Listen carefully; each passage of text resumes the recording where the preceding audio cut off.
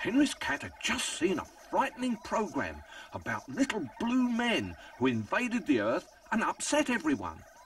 Luckily, a very clever professor invented a secret weapon that zapped most of them, and the rest went away forever and didn't even send a postcard. Henry's cat was very impressed and thought it would be nice to save the world and be a big hero. The thought was still in his mind when he drifted off into a deep sleep. Professor Henry's cat gazed at the midnight sky, just checking that the universe was working okay. But what did he see? It was a strange flying machine. A closer look revealed it to be full of little blue men. Professor Henry's cat lost no time. He pressed the panic button, which immediately delivered a cup of coffee and two Swiss rolls. He was prepared. Jumping onto his two and a half speed superbike, he was soon at the laboratory of Dr. Chris Rabbit, the mad genius, who was just testing his latest invention, a donut cannon that checked for jam leaks. It worked first time. Oh, we are about to be invaded by little blue men from Jupiter. Invent something to stop them. I'll be back in 20 minutes, said Henry's cat. The little blue men had landed and were frightening everyone. They even poked their tongues out at Constable Bulldog.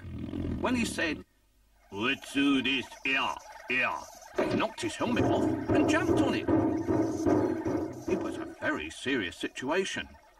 Professor Henry's cat hurried back to the laboratory of Dr. Chris Rabbit. I've done it! I've done it! said Chris.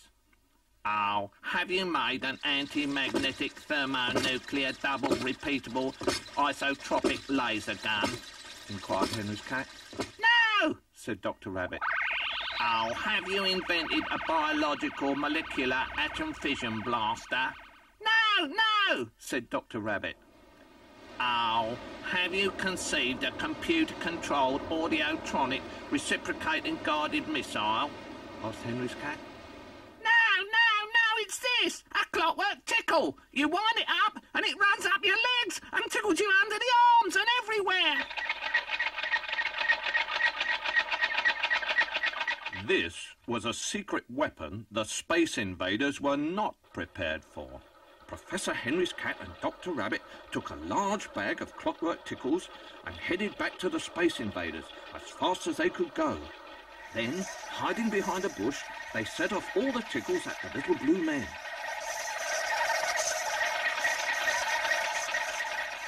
Well, the space invaders didn't know what to do. And when Dr. Rabbit produced his donut cannon with donuts full of super glue, they couldn't even move to scratch themselves. The invasion was soon over.